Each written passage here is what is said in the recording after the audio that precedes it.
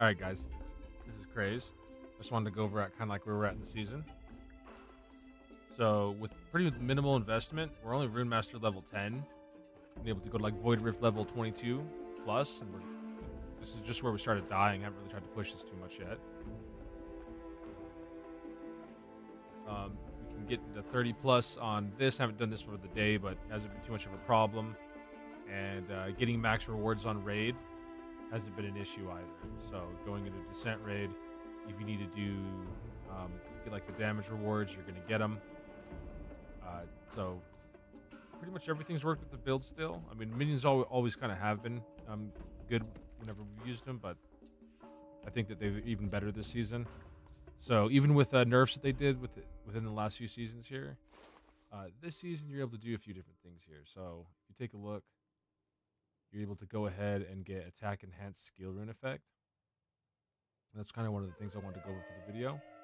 Uh, it's why with like minimal investment, I've been able to play other games and do a few other things, and uh, only be like at Rune Master level 10, where I see quite a few other people like getting up into like 80 plus, and doing a lot of investment on their characters, and we're able to do almost the same stuff that they're doing. So I'm able to already go into maps that are able to give me gear that's like 155 plus, and we're able to kill Uber bosses and do the mines. One thing I do recommend, especially for hardcore, is to use fire status effect immunity elixirs and bleed immunity, frozen pots, and whatnot.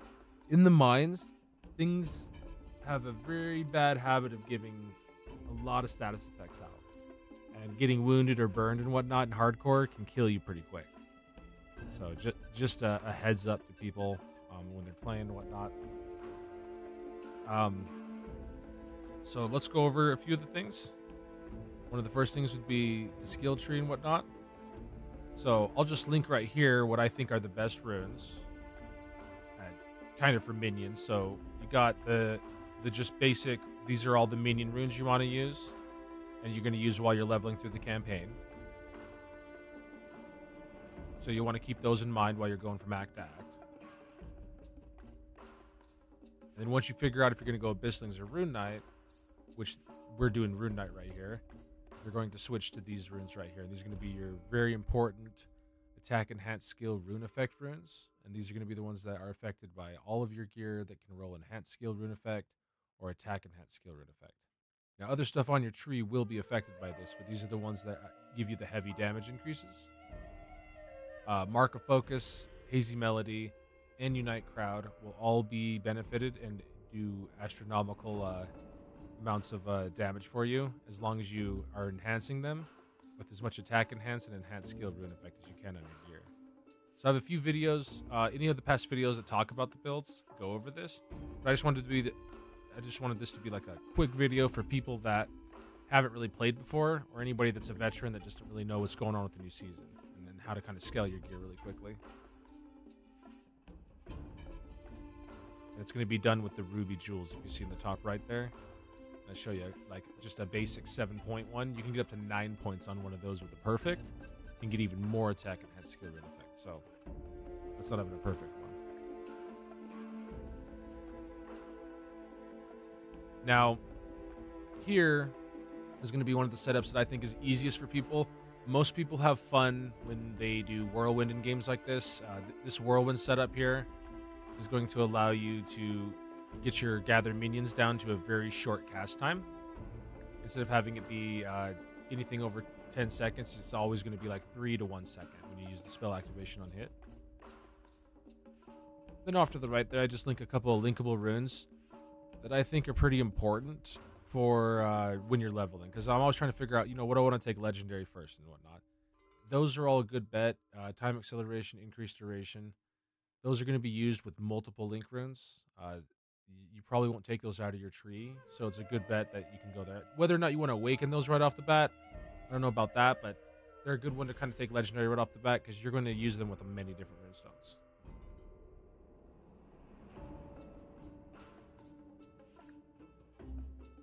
Now, in the tree here, this is a quick setup of what you're going to kind of set up. You're going to try to do your Unite Crowd, Mark of Focus, and Hazy Melody and try to focus on these as much as you can. Best way to enhance them is just kind of dampen resource cost, enhance enhance effect, Both of these are going to be the easiest to find um, out of the guild boxes and are going to be the ones that, well, probably not easiest to find, but going to be the ones that you're going to be searching for that are going to enhance most of your skills the fastest. Uh, improved technique, not required or even that important. It just increases the rune level of your of your runes here. But if you get it, remember that it does that. It does, even though it says minion damage on there. Some people just kind of like overlook it and go, "Well, I don't really use minions." Well, even if you're not using minions, the rune level accounts for any rune. So I don't have to link it to these. You can link it to any rune that you like.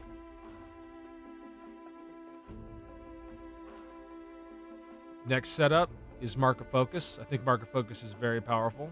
I'll show you guys right here in a couple of different clips, but um, the Mark of Focus seems to just eliminate these mobs that have the, the high-end aura on them. So I highly recommend using Mark of Focus and maximizing this as much as you can, getting that damage from minions increased to as high as possible. And uh, immediately whenever you get a mob that is just taking forever to kill, they have a defense aura, they have regen or anything like that, you pop that on them, and it's probably going to take them down pretty quick. Now, we already show kind of like a whirlwind setup, and then what you're going to do for gather minions. You're pretty much just whirlwinding gather minions and using time acceleration and in decreased duration to just enhance this as much as you can. There's a lot of different setups you can do for whirlwind, so that's going to be up to you. Um, this season, I mean, if you're just wondering what we're trying, um, I've never tried the knockback source before. They change it to where you actually get cold energy when you knock back. So we're trying that out. We've got the extract energy here, and sometimes I will switch out savagery or lower armor to convert this to cold so that we get more cold energy. And what we're doing with that, just to show, is I was just kind of testing a few things like the the 98% cold energy effect I wanted to see how much more damage reduction we could get when we were getting cold energy, and it works.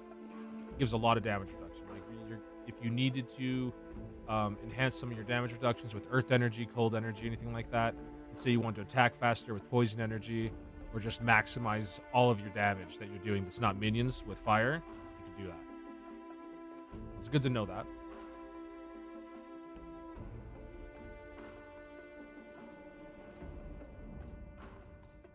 Now, with your build, you're going to have your runes that enhance everything and are your support runes that we kind of just went over.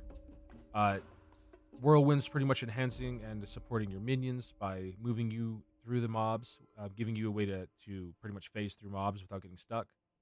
Um, it channels and does the gather minions verity, or we use we use verity just for the armor and the elemental resist amplification. You can use whatever you want. It's the one I recommend, though. You can use any runes that you want here. You know, a few ones that I think about even, like, especially when you're first starting out, Fighting Spirit. Fighting Spirit's going to give you physical damage taken dampening. When you turn it legendary, it's going to give you elemental damage taken dampening while you're hitting.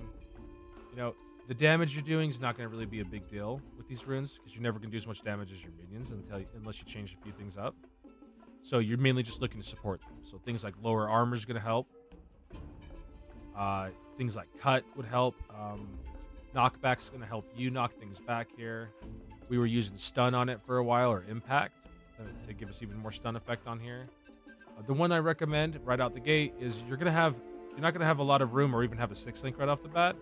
So people that are wondering like kind of how to start out is just kind of grab increased duration and time acceleration and attach it to a few of these skills and then go ahead and try to get the guild box for these, but you're just to have your aura sitting off to the side until you get something for them. And then for Whirlwind, you're probably only going to have a few links on it, so I would just go for Channeling Enhancement to get that damage taken dampening. And then go ahead and just throw Spell Activation on hit on it. Other than that, you can throw anything on there. If you need to regen some hit points, you can throw Hunger on there. If you want the extra range savagery. So anything that you don't have to synth, you can throw on there. It's really easy. As for shouts, shout of provocation is great. Um, we it'll give you. We'll even go over a few of the shouts. So shouts are pretty important this season. When you use shouts, you're going to get um, a new rune here called Predator's Roar. And it's going to make things take increased damage. So that's kind of nice.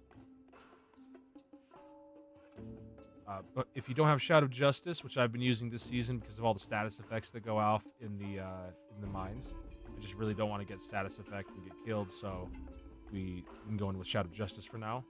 Um, other good ones to go with is Shout of Provocation. This is going to give you armor amp, and you're going to taunt for your minions. That's pretty nice.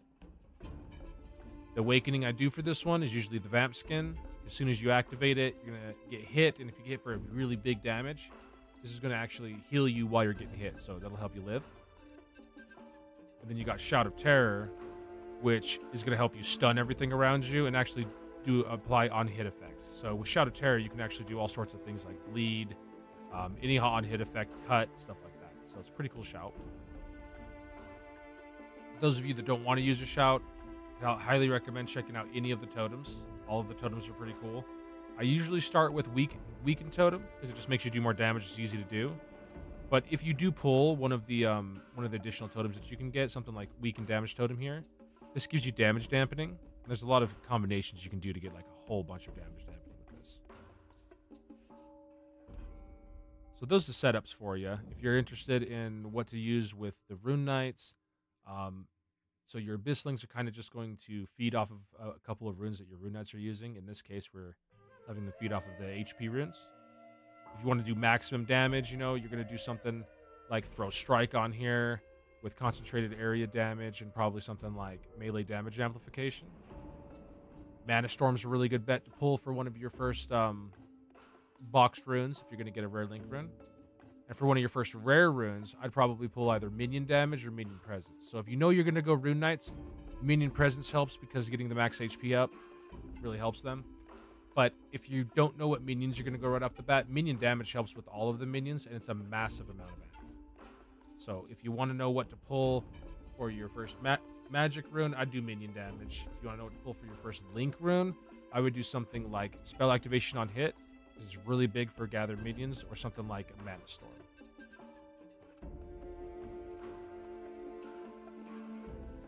The rest of them you can just kind of get. That's going to be it for the skill tree. Um, I do use a movement to activate Bulwark on Protection, but we've done this with other builds, and it's nothing really new here.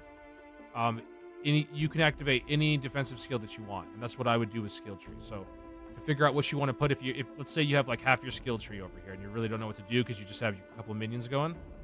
All right, so grab your minions, grab the, make sure you have your enhance effects here, and then if you want to, you can do something like a channeling effect to activate gather minions. Doesn't have to be whirlwind, and then make sure that you get some kind of shout and some kind of defensive rune. all of these mixed with the with the movement rune pretty much makes a build. You can do a lot more unique things like this, but if you want to just try out using a shout, defensive rune, all, all the different goodies the game has, this is going to pretty much do it. This is what my skill setup looks like. Still debating on adding illusion axes here or something different, so we'll see what we're going to do. Illusion axes will probably awaken for the earth energy here.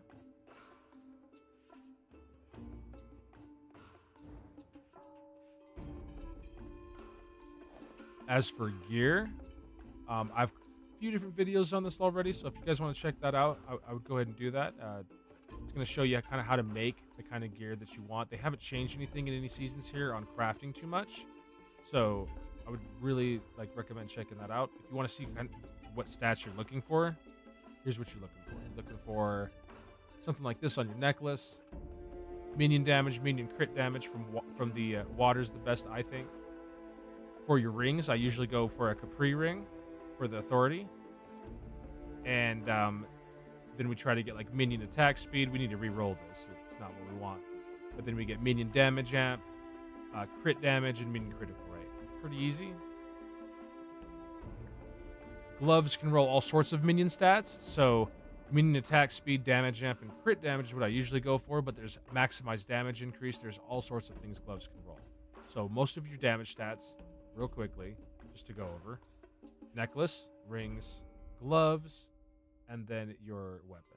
Later on, when you have mats to craft heavily, you're going to go try to do things like get enhance effect, enhance skill effect, and you're going to try to even re-roll that to get the enhanced skill effect again. As for the chest this season, instead of making a minion chest, went for a full damage dampening chest with attack block expertise and that's because in the Rune Master, uh, you can actually masteries, you can actually get more block expertise. So I just want to see how that goes.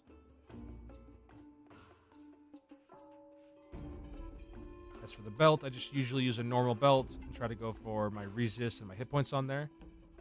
Using a minion belt is just fine, and don't forget that a lot of minion stats can reroll into damage. So just because you have like minion hit rating or something, and you're like, oh, I didn't really like the minion hit rating I rolled on that or whatnot. Well, look what it did on these shoulders. Rolled into minion damage amp.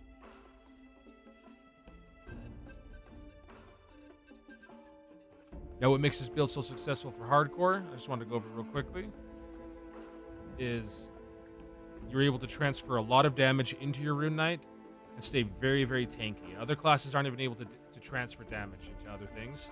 So this is actually really big. The only thing you can really do with other classes is kind of transfer some damage into your totems. So um, being able to do this is pretty big. So right now, we have Knight damage taken 14% with our shoulders.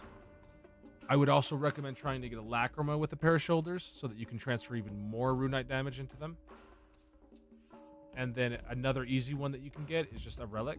I recommend Leo in Hardcore. That's going to give your Knight even more hit points, and you're going to transfer even more damage. And that's going to take care of a lot of damage reduction and stuff that you need be able to get through most of the content in the game without dying.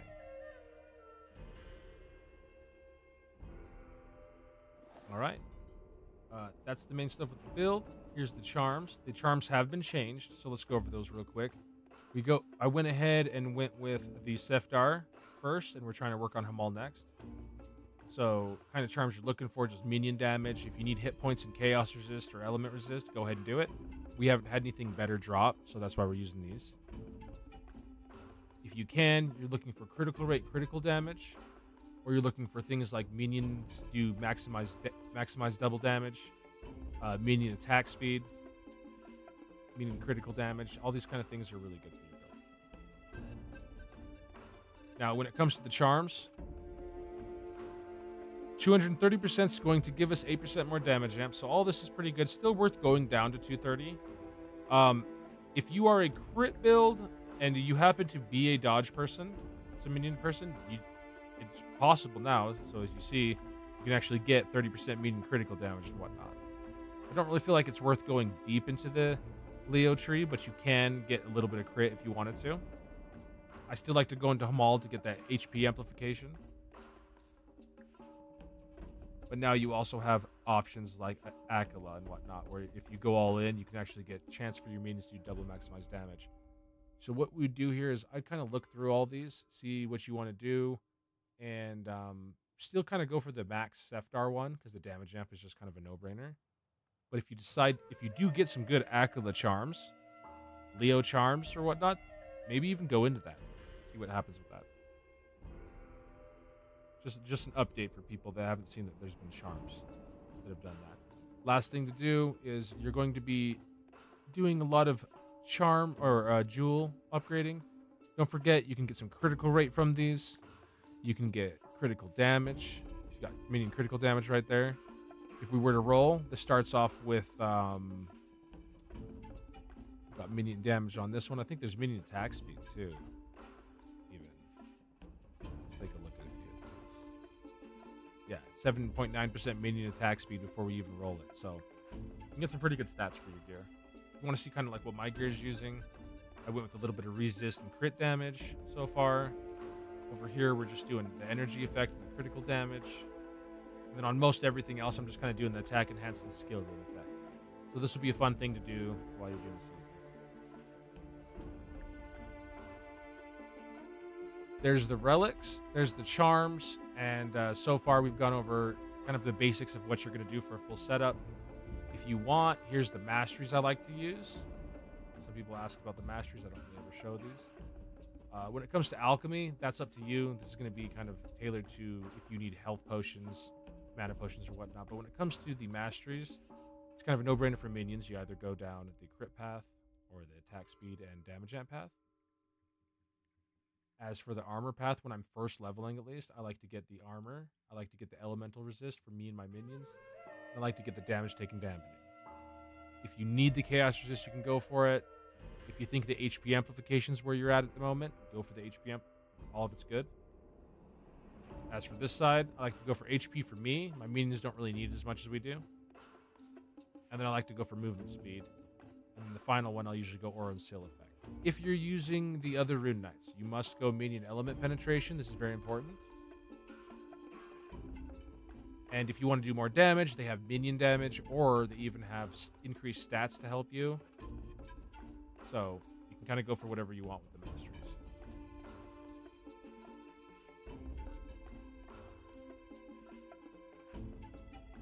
That's the build for it, guys. Um, with not even very much investment into the build so far, we've been able to do some pretty good damage and get some good numbers, like I, like I've shown. Uh, being able to get to Void 22 plus, do 155 content, and even be in the mines and not really even take too much damage. If you want to see just like a quick damage test,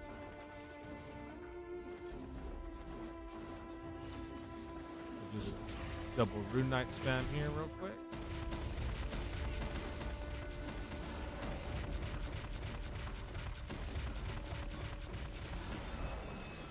And you see we got a pretty massive whirlwind.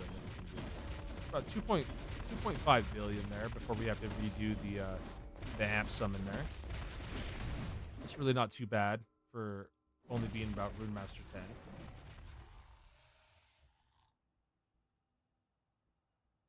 Alright, hopefully that helps people. Um, anybody that's wondering about minions, yeah, I can highly recommend them. Um, instead of doing a lot of the energy effects you're going to see everybody else doing for the season, once again, we're mainly just kind of going into these things like this attack enhanced skill and effect. It's going to affect all sorts of things for us.